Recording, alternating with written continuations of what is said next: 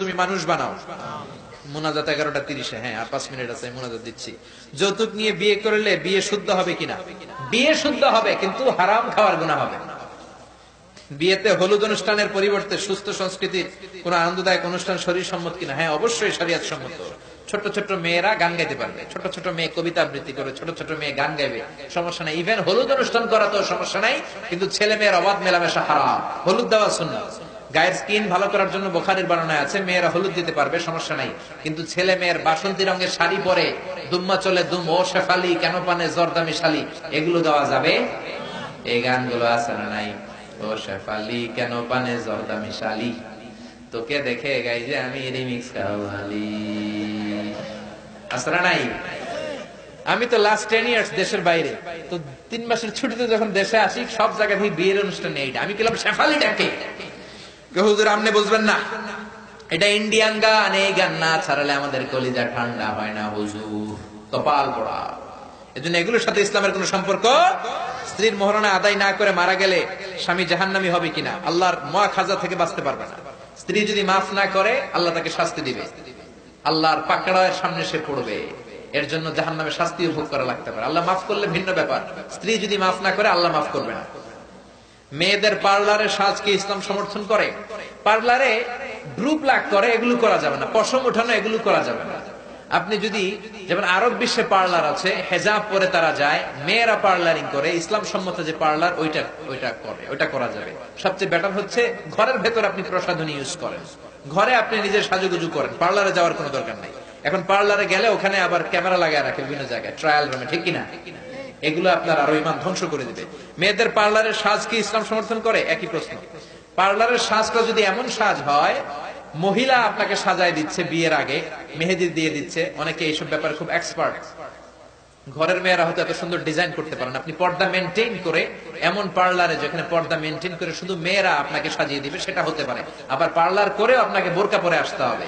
Parlour করার পরে চেহারা দেখিয়ে লোকজনদের কাছে নিজেকে প্রদর্শন করে আসা যাবে না। এই শর্তগুলো যদি মেনটেন করতে পারেন, তাহলে পার্লারে যাওয়া যাবে। তবে সবচেয়ে উত্তম হচ্ছে ঘরে সাজুগুজু করা। মেয়েদের ভ্রুত লাখ চুল কাটা যায় যাচ্ছে কিনা? হ্যাঁ চুল কাটতে পারেন। চুল ছেটা রাখা যাবে, কিন্তু ছেলেদের মতো সাইজ করা যাবে না। বিশ্বনবী বলেছেন, লাআনা রাসূলুল্লাহ আল মুতাশাব্বিহাত মিনান নিসা ইবির রিজাল আল মুতাশাব্বিহিন মিনান রিজাল ইবিন নিসা যে ছেলেরা মেয়ে সাজতে চায়, যে মেয়েরা ছেলে সাজতে চায়, এদের উপর আল্লাহ লানত। অনেক বড় হয়ে গিয়েছে, অগোছালো, একটু ছোট করে রাখা যাবে। কিন্তু ছেলেদের কাটিং দেয়া যাবে, আর গ্রুপ লাগ করা হারাম। কেউ মারা গেলে চল্লিশ আবার জেয়ারত অনুষ্ঠান হারাম কিনা, কবিরা গুনা, মুসলমানদের অনুষ্ঠান কখনো করবে কিনা? না। চল্লিশে কুলখানি এগুলো বিশ্বনবী শিখায় নাই। খাদিজা এতেকালের চল্লিশ দিন পর বিশ্বনবী কি করেছে, ওইটা দেখবে। বিশ্বনবী কি খাদিজারে ভালোবাসে নাই? আচ্ছা ফাতেমা আগে ইন্তেকাল করছে, আলী ইন্তেকাল করছে পরে। তো ফাতেমা ইন্তেকালের চল্লিশ দিন পর আলী কি করেছে, দেখার দরকার আছে নাই? তারা চল্লিশ দিন এগুলো কিচ্ছু করে নাই। তাদের জন্য দোয়া করবেন, এতিমদেরকে খাওয়াই দিবেন। এনাফ কিন্তু চল্লিশ দিনের এই কুলখানির নামে ঘরের ভেতরে যে বিশাল অনুষ্ঠান হয়, সবাই খুব আনন্দ মন নিয়ে খেতে আসে। মনে হয় নতুন একটা বিয়ের অনুষ্ঠান। এখানে একজন মানুষ মারা গিয়েছে, তার জন্য যদি শোক পালন করবে, দোয়া করবে, ওই কোনো পরিবেশই থাকে না। এগুলোর সাথে ইসলামের সম্পর্ক স্ত্রীর গায়ে হাত তোলা যাবে না। না, স্ত্রীর গায়ে কখনো হাত তোলা যাবে না। চার পাঁচটা স্টেপ বলেছি ওয়াজ করবেন, সংলাপ করবেন, সংযতা করবেন, বুঝাবেন, আদর করে টুনটুনি, কৈতুরি, সোনামণি এগুলো বলবেন। এটাতেও কাজ না হয় বিছানা আলাদা করবেন। এত কাজ না হলে একটু শাসন করবেন, হাত তোলা যাবে মহিলারা স্বামীকে দাড়ি রাখতে মানা করে, এক্ষেত্রে পুরুষ নারী উভয় জনের করণীয় কি? এবং অনেক মেয়ে দাড়ি রাখা ছেলেকে বিয়ে করে না। যেই মেয়ে দাড়ি রাখা ছেলেরা বিয়ে করে না ওরা তো বিয়েই করবেন না আপনি। অতিরিক্ত বিয়েতে আলোকসজ্জা এবং অতিরিক্ত ব্যয় জায়েজ কিনা? না, এটা ঠিক না। অতিরিক্ত কোনো কিছুই ঠিক না। ইন্নাল মুবাজ্জিরিনা কানু ইখওয়ানা শায়াতিন ওয়া কানা শায়তানু লিরাব্বিহি কাফুরা। যে অপচয় করে সে শয়তানের ভাই। ও মিয়া, যে শয়তানের ভাই, ও নিজেও আরেকটা কি? শয়তান। এজন্য অতিরিক্ত অপচয় করা যাবে না। যতটুকু না হলেই না। আপনি অনেক বংশীয় মানুষ। কিছু যদি হালকা আলোকসজ্জা করেন, কিছু লোকদেরকে খাওয়ান, ওটাতে সমস্যা নাই। কিন্তু যেটা অপচয়ের কাতারে পৌঁছে যায়, কোটি কোটি টাকা আপনি খরচ করতেছেন, ওদিকে রোহিঙ্গারা মরে। ওদিকে বন্যায় মানুষ না খেয়ে মরে, আশেপাশে বিকলাঙ্গ লোকগুলোর ঘরে কোনো খাবার নাই। ওই অনুষ্ঠান জায়েজ হবে না, ঠিক কিনা? এজন্য ভারসাম্য করতে হবে। আমাদের সমাজে বড়দের সালাম না দিলে তারা রাগ করে, কিন্তু তারা ছোটদের সালাম দেয় না। সালামের বিধান জানতে চায়। সালাম ছোট, বড়, সবাই সবাইকে দিবে।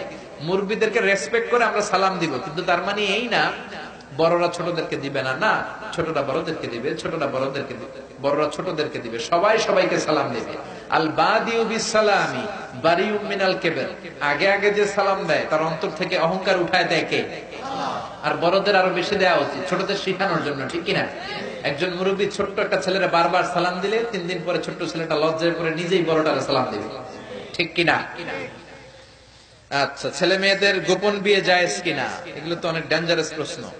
না, গোপন বিয়ে, এটা ঠিক না, আমরা ইন্সপায়ার করি না। একটা ছেলে মেয়ে ম্যাচিউর্ড হয়ে গেলে হানাফি মাসাব অনুযায়ী আপনার বিয়ে শুদ্ধ হয়ে যাবে, কিন্তু এটাকে আমরা উৎসাহিত করি না।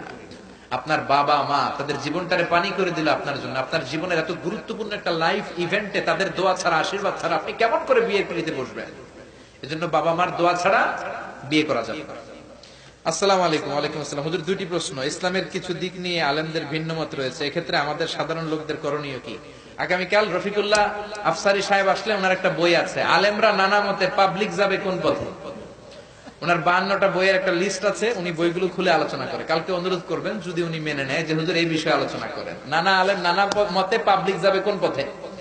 আমরা যাব কোরআন সুন্নাহর পথে। বিশ্বনী বলেছেন লাকাত তারাকতু ফিকুম আমরাইন, লাং তাদিল্লু মা তামাসসাকতুম বিহিমা কিতাবাল্লাহ ওয়া রাসূলি। দুইটা জিনিস রেখে গেলাম। আঁকড়ে ধরলে কোনোদিন তোমরা জাহান্নামি হবা না, পথ হারাবা না। এক হচ্ছে আল্লাহর কিতাব, দুই হচ্ছে সুন্নাহ। রাজি আছেন তো? দুই নাম্বার, মসজিদে কি নাপাক শরীরে প্রবেশ করা যায়? না।